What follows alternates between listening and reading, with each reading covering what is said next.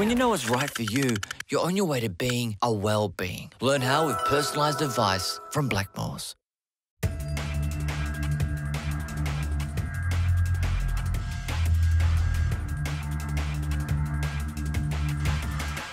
Welcome to this week's injury update, brought to you again by Blackmores. It was a disappointing result at the MCG on Sunday. A loss was compounded, unfortunately, by the injury to Alan Toovey. Uh, he jarred his knee. Fortunately, he's had a scan today and it looks pretty positive. Uh, we'll still be fairly conservative about it. There's no certainty that he'll play this week, but uh, it's certainly not long term. Brent Macaffer has been struggling with that uh, recovery from his uh, from his serious surgery on his knee. They're going to go in and have a bit of a look. Uh, they'll have an arthroscope to see how it goes. Um, we're not expecting anything too serious, but it'll certainly hold him back the amount of time it takes to recover from the arthroscope, which will be three or four weeks before he can get back into his program. So it's a bit disappointing, but probably good news for him. We'll be able to get him back on track. Ben Reid missed the VFL again this weekend, not through any injury per se, but we've, uh, we're committed to not playing him unless he's 100%. So he's a little bit uh, concerned about his conditioning. So he didn't play this week. And unfortunately, he'll miss this weekend as well because there's a bye. But we're pretty confident about where he is. And one day I'll be telling you he's going to play this week.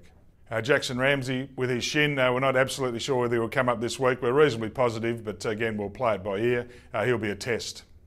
Steele Sidebottom's in the same boat. We're pretty confident his thumb's fine and healed. It's a matter of how comfortable he is and how well he's able to train. Uh, he'd be a test as well. Clinton Young is coming on quite well. Uh, that hamstring's doing pretty well. I doubt that he'll play. He certainly won't play this week because there's no VFL game, but he should be fine for the week after. Nathan Freeman, as we said last week, has had his uh, hamstring, uh, had some surgery on that. Uh, he's in pretty good shape. Uh, the only recovery time will be recovering from the actual surgery, so that'll be another few days before he's able to get on the track, and hopefully we'll run, if not this week, next week, and then we'll see how he goes.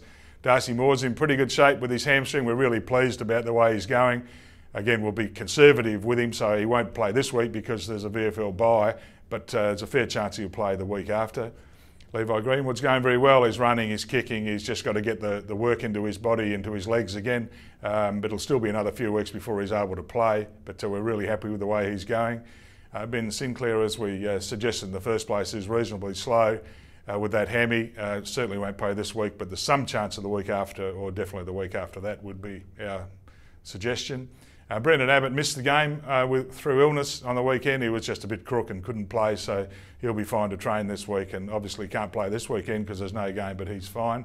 Uh, ben Kennedy came through the game very well. There was reports of a concussion, which uh, wasn't the case. Um, he did get a whack on the head, but he certainly wasn't concussed.